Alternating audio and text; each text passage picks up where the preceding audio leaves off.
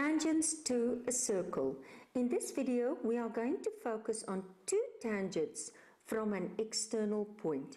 You will find this on page 389 in the Namibia Ordinary Level Mathematics textbook y equals mx plus c to success. Two tangents from an external point. The point P is a point outside the circle with center O. PA and PB are two tangents drawn from P to touch the circle at A and B respectively. Tangent, tangent. The two tangents from P have some interesting relationship which we will find out through the following investigation. You can click on this QR and then you can watch the investigation. But we are just going to look at the conclusion. Okay. The investigation reveals the following theorem. If two tangents are drawn from an external point to a circle, then the lengths of the tangents are equal. The line joining the external point and the center bisect the angle between the tangents. Okay, so what does it mean? Let's just show you in this picture again. In the diagram, PA and PB are tangents from P. So PA and PB to the circle at A and B respectively. So this will be equal and this will be equal. Okay. And then this angle, which is marked red, will be equal to this angle. So this is a line of symmetry. So this triangle and this triangle will be congruent. Let's look at an example. In the figure, PA and PB are tangents to the circle center O. Given that PA is 6.8 and OA is 4.3, calculate angle OPA. Now, this is very important. If you don't know trigonometry of 90 degree triangles, this will be done in chapter 9. First, leave this example.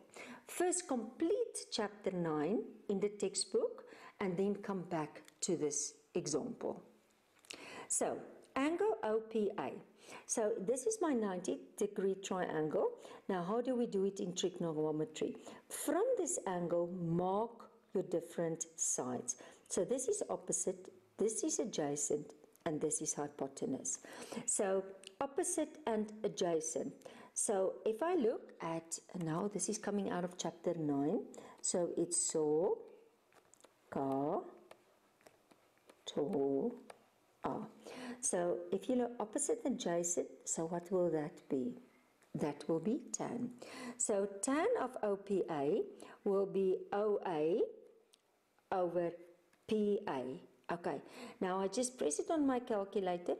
Um, this is going to be 4.3 divide 6.8 equals and then tan this. But I think it's better if you just press it like this. You can just press tan tan just press tan and then press bracket and then say 4.3 divide 6.8 close the bracket equals. Okay and now you are looking for an angle. So shift tan Okay, let's, let's redo that. So if you want to press this on the calculator, let's rather start with shift tan because that means I'm telling my calculator to go to an angle and then the bracket. So let me repeat. First press shift or second function, then press tan because you're looking for an angle, then bracket and then 4.3 divide 6.8 close the bracket equals and then you get 32.3 just make sure your calculator is on D for degrees. Okay and then the length of OP again it's Pythagoras theorem that you actually did in grade 9 so it's this square is equal to this square plus this square. Just substitute and you get the value. And then the area um, the area of quadrilateral OABP that's that OA uh. Now, if you work out 1, because you have this the 90, so what is the area of a triangle? Half base times height.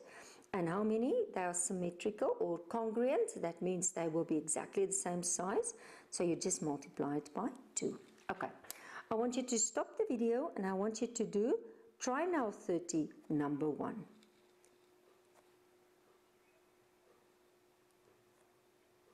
Let's start.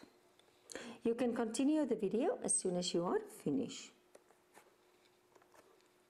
In the figure, PA and PB, so PA and PB are tangents to the circle center O. Given that PA is 15 and OA is 7, calculate angle O. Now, just focus, and I'm just going to highlight it for you in this color. Now, let's just go back there.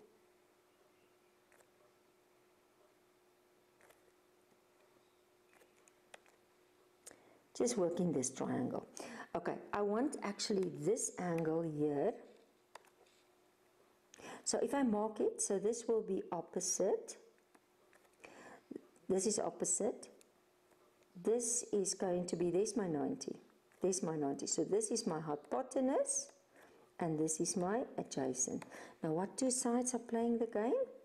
Opposite and adjacent. Now SOHCAHTOA, that will be tan. So let's start. I will say tan of that angle OPA, OPA, uh, angle OPA is equal to, and then that will be opposite 7 over adjacent. And then I will press it on my calculator. Okay, let me repeat. Press shift, press tan, press bracket, press 7, divide 15, close the bracket, equals. And then angle OPA will be equal to, in this case, I just want to control, at 25. 25, did they say to me now many significant? 25.0. Just make it to one significant. Oh, to one decimal place. Angles to one decimal place. Did they ask me to two decimal places? Let's just see and calculate, oh no, they did not ask me. Okay, then I can do one decimal place. Then the length of OP, so I'm just going to go on, number B. So it's going to be OP squared is equal to 15 squared plus 7 squared. So if I'm going to work out that, it's going to be the square root of 274 and if I take, that is OP, don't forget to write OP as soon as you write the square root. Because it's 15 squared plus 7 squared, it's 7, and then I take the square root, and that will be, so OP will be 16.6 centimeters. Okay. And then um, I just want to say uh, the area of the quadrilateral. Now don't forget, how do you find the area? Uh, area of a triangle, area of triangle AOP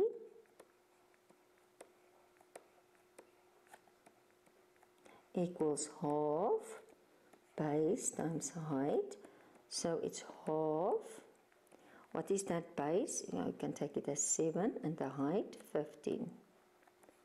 So it's 7 times 15. No, it says 7 times 15 divided with 2. It's 52 point. Oh, let's just the pen again. 52.5 that will be only for one. But therefore, the area